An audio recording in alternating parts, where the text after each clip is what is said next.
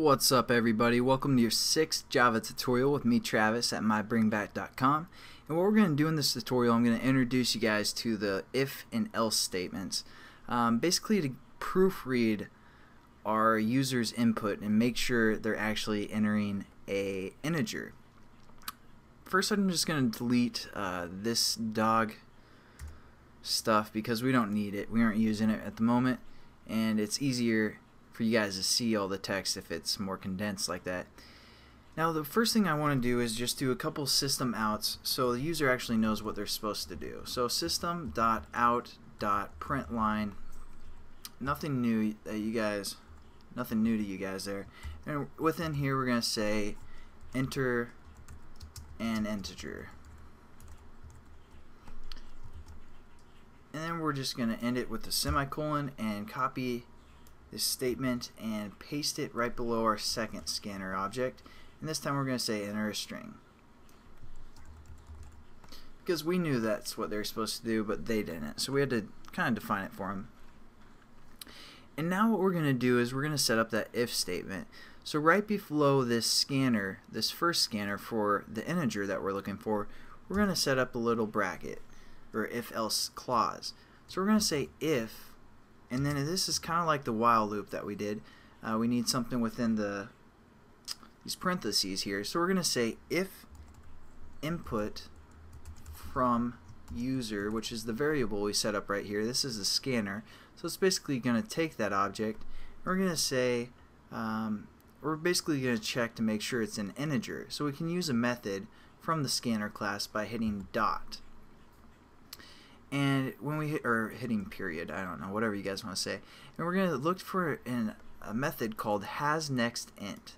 So we're gonna click that and basically this is a true or false statement. I'm gonna show you that real quick.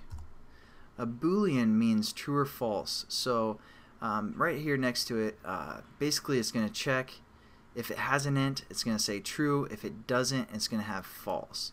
So basically that's what that statement means. It's checking the user's input again for if it has an int or not, and then we're going to set within the brackets.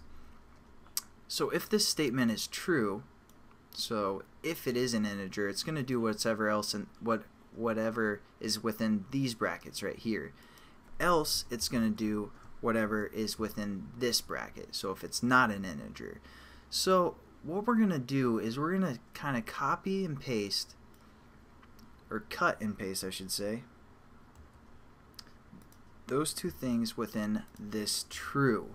So if the if the input is true, we're going to say finish. Again, that's what we're looking for down here. Finish is equal to whatever integer they put. And we're going to say enter string.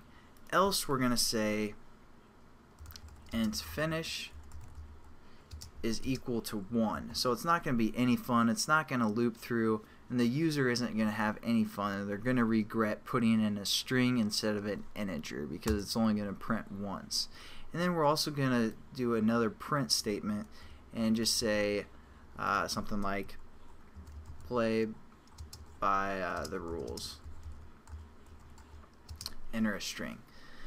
So there we go. Uh, it's kind of an easy way to check if the user put an integer in or not. Again, this is a, a method from the scanner class, and since this object is from is a scanner object, we can use those methods from the scanner class. So there we go. We basically have a proofreading. Um, make sure we don't get any errors within our programs because we never want to have errors. And speaking of errors, you guys can see right here we're getting an error. An error. And what's happening is it's saying finish cannot be resolved to a variable and you're like, what? We define finish right here. But what's going on is we define finish within these brackets, which is kind of a sub bracket, or I don't know. We define it within these brackets, so finish will only be able to be recognized within those brackets. So we could say, you know, system out uh, print or print uh, finish, and it would print, uh, you know, our finish variable. But since we're using it outside of, we're using the finish uh, variable outside of those brackets, it doesn't recognize it. So easy way to finish that or uh, get rid of that uh, error right there Sorry, it's pretty late. I told you guys I was going to bed after the last tutorial, but I decided to stay up and make one more for you. So sorry if I slur my words and all that stuff. But we need to define this finish variable outside of these if and else clause right here. So we're going to say uh, int finish and just hit semicolon. And now we're getting an error within here because we're trying to redefine what finish is.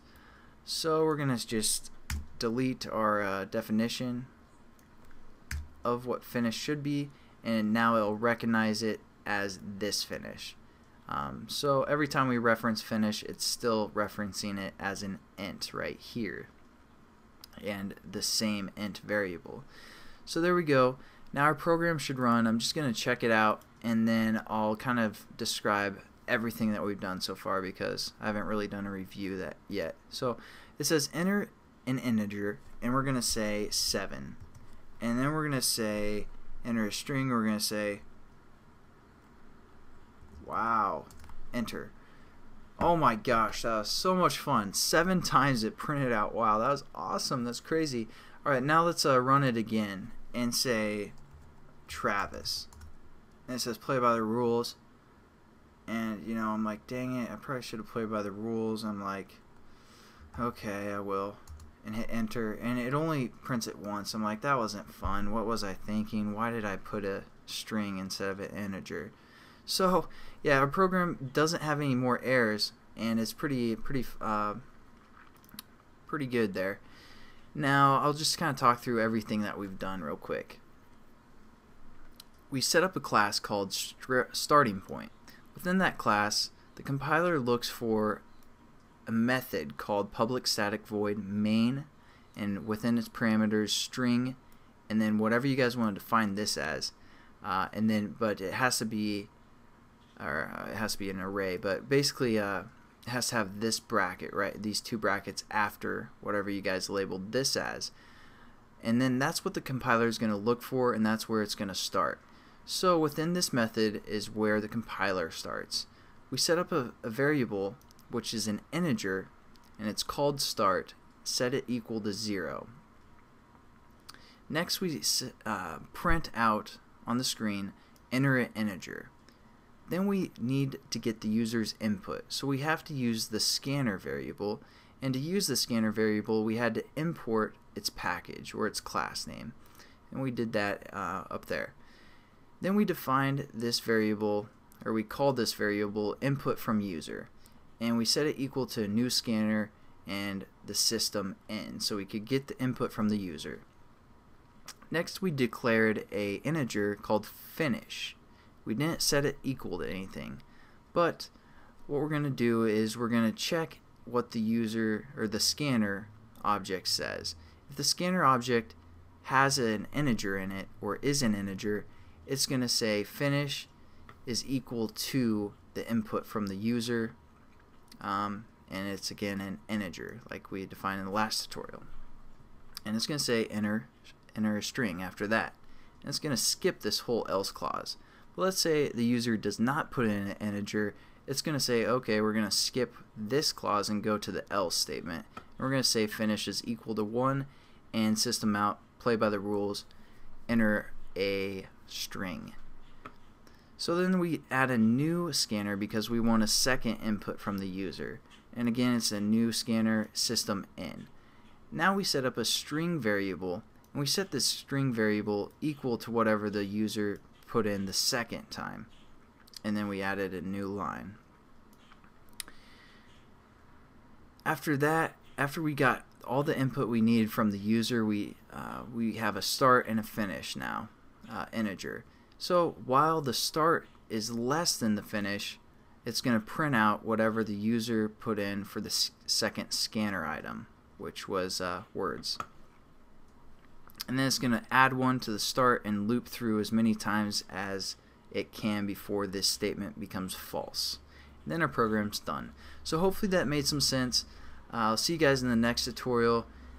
If it's still unclear, don't worry, just keep going. Uh, you guys will get it like like uh, you know ninjas slice wood in half or something. It's gonna be super easy.